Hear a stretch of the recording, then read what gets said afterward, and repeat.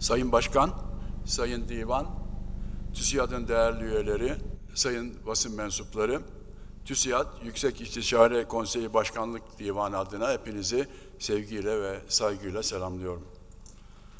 Son yılların yorucu temposunun ardından nispeten biraz daha sakin bir gündemle toplandık.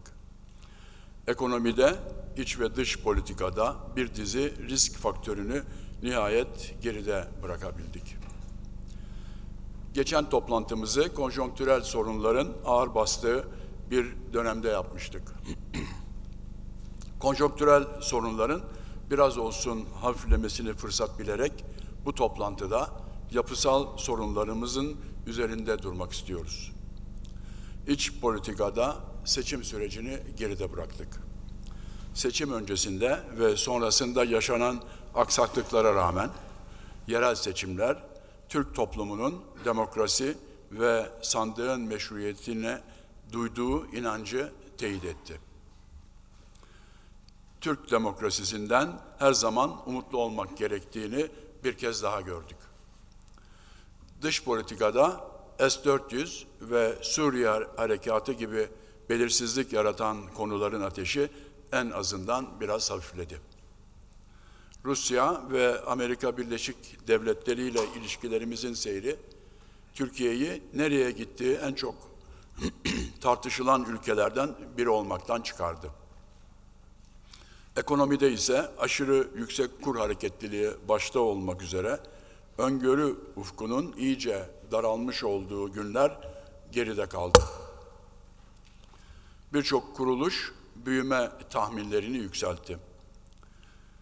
Ülkemizde nispeten daha sakin diyebileceğimiz günlere karşılık dünyada olağan dışı hareketlilik devam ediyor. Dünya şiddetli toplumsal hareketlerden Brexit sürecine, ekonomik yavaşlamadan küresel iklim krizine, sosyoekonomik dengesizliklerden teknolojik dönüşümün etkilerine uzanan çok geniş bir yelpazedeki sorunlar yumağıyla uğraşıyor. Belli ki bu sorunlar yumağına bulunan çözümler yeterli ya da uygun olmuyor. Bu nedenle birçok ülkede sokak siyaseti 1968'den bu yana ilk kez parlamenter siyaseti gölgede bırakarak belirleyici dinamik haline geliyor. Gündemimizi işgal eden bütün bu sorunlar bugün dünyanın çoklu bir kriz durumuyla karşı karşıya olduğunu gösteriyor. Ülkemizde bu krizlerden muaf değil. Kendi konjonktürümüzden kaynaklanan sorunların hafiflemesiyle sürekli ertelemekte olduğumuz yapısal sorunlarla nihayet uğraşabileceğimiz bir fırsat çıkıyor önümüze. Bu zamanı iyi kullanmalıyız. Dış tehditlere karşı en başta yapmamız gereken şey içeride bünyemizi kuvvetlendirmek ve değişen koşullara uyum yeteneğimizi artırmak. Dünyanın gündeminde ilk sıralarda olan eşitsizliklerin azaltılması, iklim krizi ve teknolojik dönüşümün etkilerini biz de gündemde ilk sıralarda tutmalıyız. Ayrıca kadın erkek eşitliği ve depreme hazırlıklı olma öncelikli gündem maddelerimiz arasında olmalı. Hiç şüphesiz en kötünün geride kalması mevcut durumun çok iyi olduğu anlamına gelmiyor. Geçtiğimiz sıkıntılı dönemin izlerini henüz üzerimizden tam olarak atamadık. Örneğin ekonomide enflasyonun düştüğünü görüyoruz. Ama bu hayat pahalılığının olmadığı anlamına gelmiyor. Sadece fiyatların artış hızı azalmış durumda. Hatta baz etkisi ortadan kalktığında önümüzdeki aylarda yeniden bir miktar artış görmemiz de olası. Faiz oranlarındaki gerileme ve kamu bankalarının uyguladığı kredi genişlemesi sayesinde tü tüketim kıpırdamaya başladı. Geçen gün açıklanan verilerin de gösterdiği gibi ekonomi yeniden büyüme sürecine giriyor. Öte yandan gerek iç talep gerek dış talep üzerindeki baskılar hızlı büyümenin önünde engel oluşturuyor.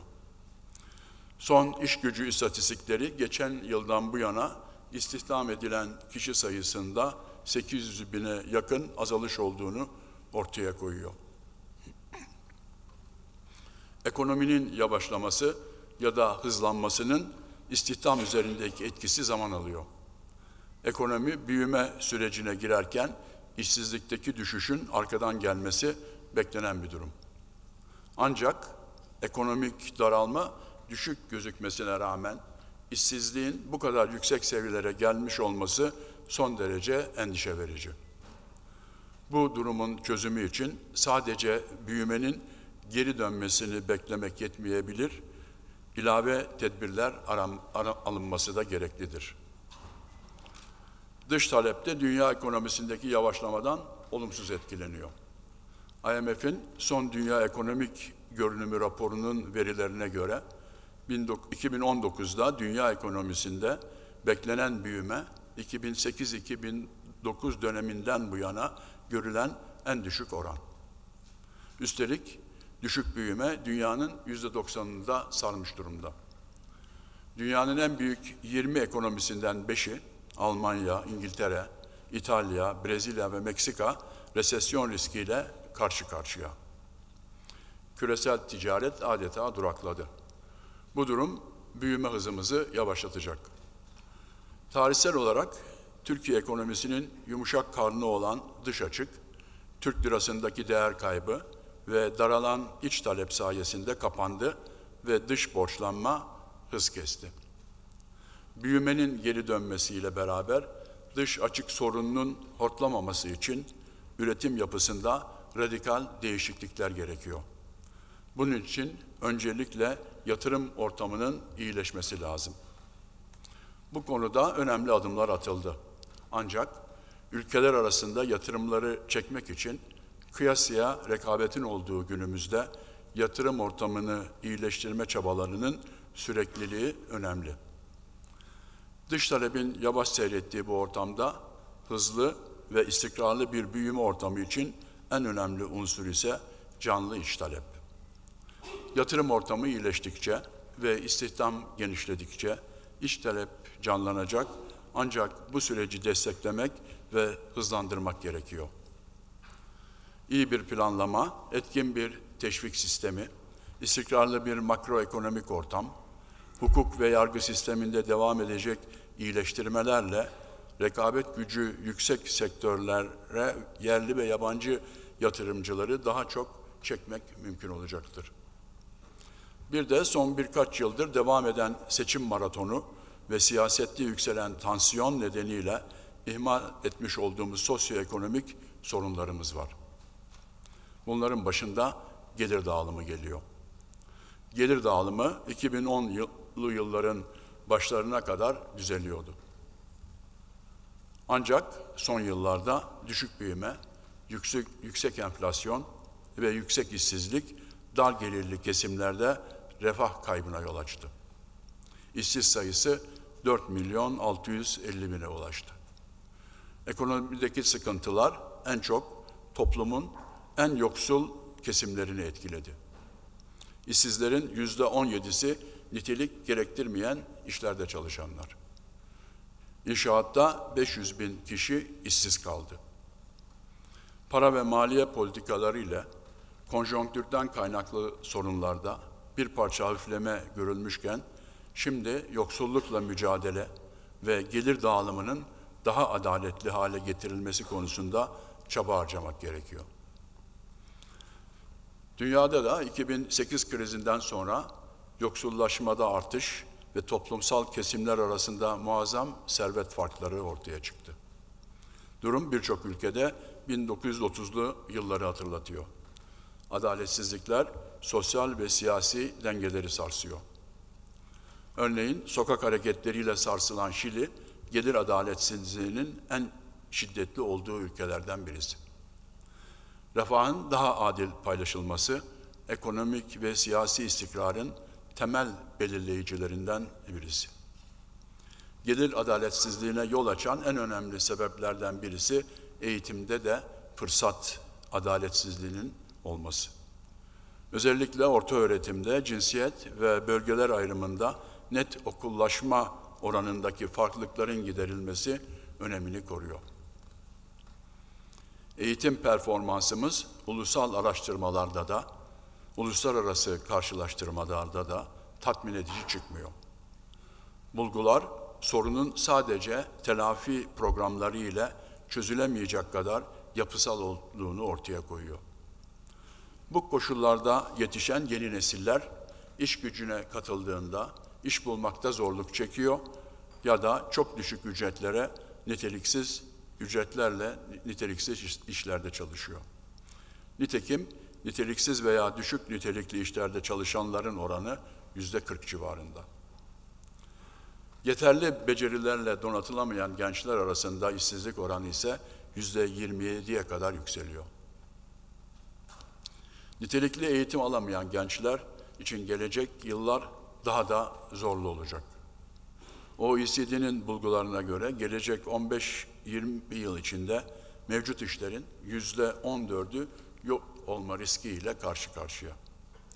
Yüzde 32'sinde ise otomasyona bağlı radikal değişimler bekleniyor.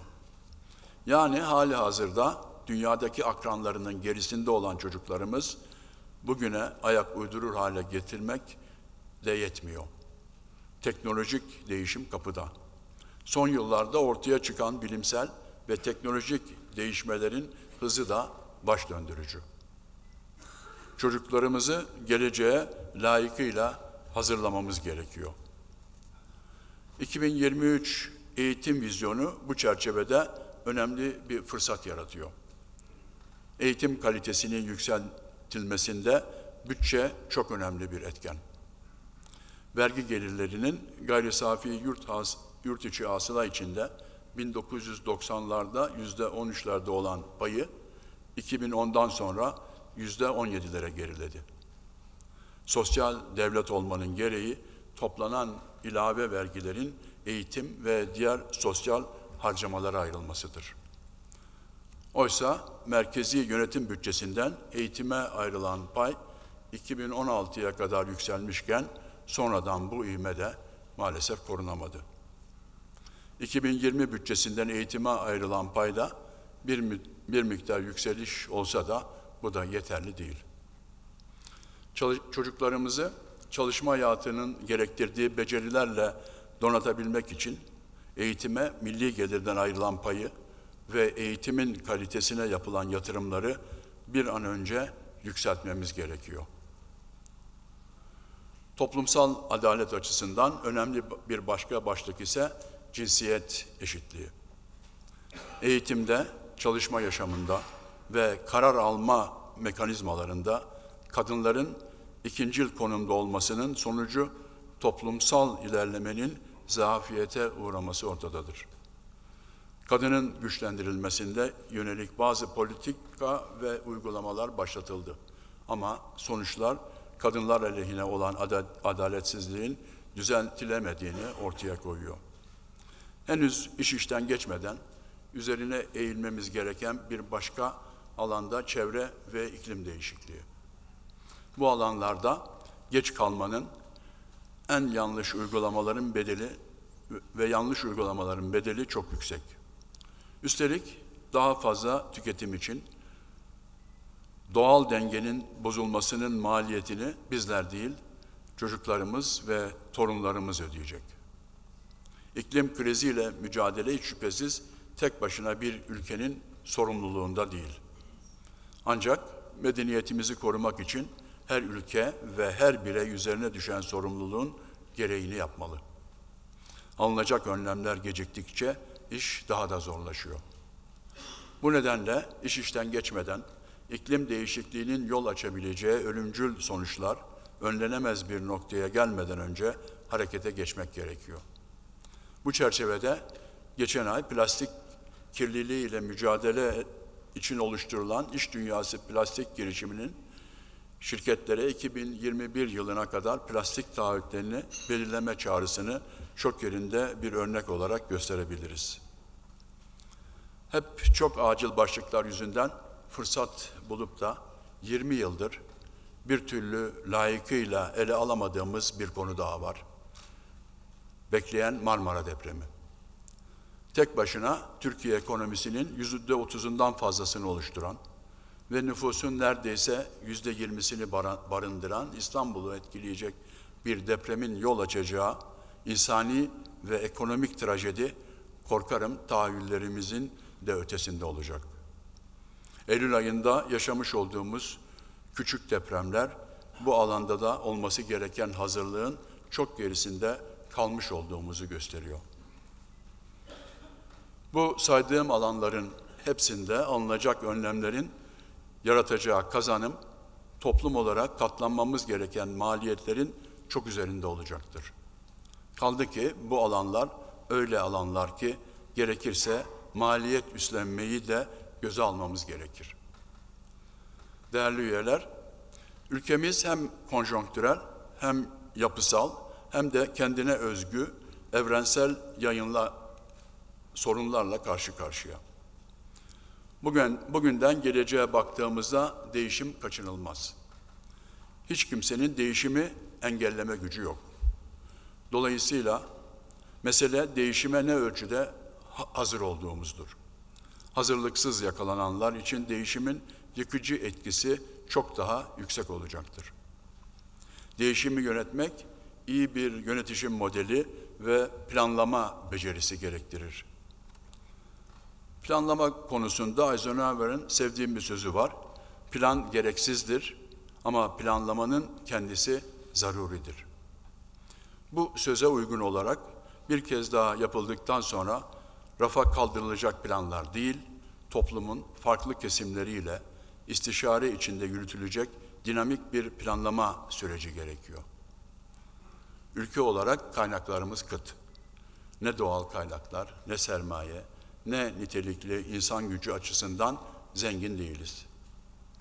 Bu nedenle kıt kaynakları sorumsuzca harcamayalım. En verimli şekilde kullanalım. Kaynakları en çok katma değer yaratacak ve sosyal gelişimi hızlandıracak şekilde harcayalım. Kaynakları nereye yönlendireceğimizi istişare ile belirleyelim. Böyle olunca tüm toplum ortak hedefler doğrultusunda seferber olur. Bir iş yapılacağı zaman işi ehline bırakalım. Harcamalar şeffaf olsun ki paranın doğru kullanıldığı ve kayırmacılık yapılmadığı konusunda kimsenin şüphesi olmasın. Aksi halde ulaşmak istediğimiz hedeflere ulaşamayız. Üstüne bir de lüzumsuz yere kaynak israfı ve çevre tahribatı yapmış olur, para ve zaman kaybederiz. İşte enerji sektöründe, altyapı yatırımlarında, kentsel dönüşümde ve hatta eğitimdeki planlama hatalarının bedelini hepimiz ödüyoruz. Kısa vadeli akut sorunlarımızı çözerken de, uzun vadeli yapısal sorunlarımızı çözerken de içinde hareket edeceğimiz çerçevenin üç çıpası var. Bu çıpalardan ilki kural temelli uluslararası sistemle ittifak. Mayıs ayındaki toplantıda eğer Türkiye küresel düzendeki yerinin hiç tereddütsüz biçimde kural temelli uluslararası sistem içinde olduğunu herkese gösterebilirse ve Avrupa Birliği tam üyelik perspektifini güçlendirebilirse bu durum toptan ve çok yönlü bir reform, niyet ve taahhüdü anlamına gelir demiştim. Geçen süre içinde Türkiye'nin liberal ekonomi ve demokrasi modelinden uzaklaşmakta olduğu tartışmalarının azalmasının önemli etkilerini görmeye başladık. Bundan sonrası için beklentimiz Türkiye'nin uluslararası ilişkilerinin konjonktüre göre şekillenen bireysel düzlemde değil, uzun vadeli kurumsal düzlemde olduğunun görülmesidir. Böylece Türkiye, liberal demokratik sistemin reformunda etkili olacak uluslararası ittifakların bir parçası olacaktır. Türkiye'nin Avrupa Birliği'ne tam üyelik perspektifi geçmişte olduğu gibi bugün de gerek Türkiye'nin gerekse Avrupa Birliği'nin ortak çıkarınadır. Önümüzdeki dönem için beklentilerimizden birisi de Avrupa Birliği ile ilişkilerde mesafe alınmasıdır. Avrupa Birliği ile aramızdaki gümrük birliği 21. yüzyılın küresel ekonomi ortamında zaman aşımına uğramıştır. Geçen süre içinde sanayi ve hizmetlerin artan etkileşimi, dijitalleşmenin ulaştığı boyut, uluslararası ekonomik sistemde Çin, Hindistan ve Rusya'nın değişen konumu, sürdürülebilir kalkınma hedefleri, Avrupa Birliği'nin Japonya ve Kanada gibi ülkelerle yaptığı yeni nesil ekonomik anlaşmalar gibi birçok gelişme ortaya çıktı. Bu gelişmeler 1995 tarihli Gümrük Birliği Anlaşması'nın güncellenmesini gerektiriyor. İkinci çıpamız ise demokrasi ve hukukun üstünlüğü. Bugün birçok ülke toplumsal hareketlerle sarsılırken geçen seneden beri yaşadığımız ekonomik daralmayı demokrasi içinde atlatma yolunda ilerliyoruz. Bu ülkemiz açısından başlı başına önemli bir başarı. Parlamenter, parlamenter sistemden Cumhurbaşkanlığı sistemine geçildikten sonra yeni sistemin kurumsal yapısının henüz oturtulamamış olması yapısal sorunların çözümünde bizi yavaşlatıyor. Güvenlik sorunları bir devletin bir numaralı konusudur. Ancak güvenlik sorunları demokrasi içinde özgürlüklerin kısıtlandığı değil, genişletildiği bir ortamda toplumsal huzur ve güven içinde çözümlenmelidir. Bizi arzuladığımız toplum hedefine yaklaştıracak olan da budur. Demokrasimiz güçlü olursa dışarıdan gelebilecek her türlü tehdidin üzerinden tüm toplum olarak el birliğiyle geliriz. Üçüncü çapa ise serbest piyasa düzeninin kurum ve kurallarıyla etkin şekilde işlemesi. Ekonomideki karar alıcılar ancak bu sayede önlerini görürler, yatırım ve üretim kararlarını alabilirler. Etkin işleyen bir piyasa ekonomisi, önemli bir ekonomik etki yaratabilecek kanun değişiklikleri yapılırken, toplumun ilgili kesimleriyle istişare sürecinin şeffaf ve doyurucu şekilde yürütülmesini gerektirir. Ekonomide oluşmaya başlayan olumlu havanın güçlenerek devam etmesi için serbest piyasa düzeninin kurumsal yapısının güçlendirilmesi, düzenleyici kurumların bağımsızlığının garanti altına alınması ve kurumlar arasında görev ve sorumlulukların dengeli dağıtılması gerekir.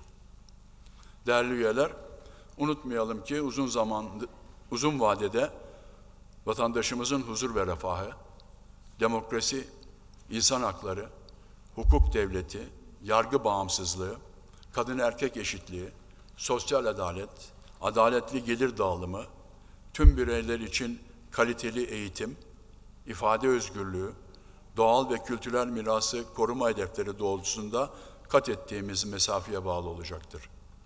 Bu hedefler doğrultusunda ilerlerken asla vazgeçmeyeceğimiz bir ilke ise laikliktir. Laiklik bu ülkenin çapasıdır ve çimentosudur. Her konuşmamda olduğu gibi bu sefer de konuşmamı birlik, beraberlik çağrısı yaparak bitirmek istiyorum. Uzunca bir süreden sonra kısa vadeli sorunların ağırlığının hafiflediği bir dönemde el birliğiyle bizi hedefimize ulaştıracak olan rotaya kilitlenmemiz gerektiği düşüncesiyle hepinizi saygıyla selamlıyorum ve dikkatiniz için teşekkür ediyorum.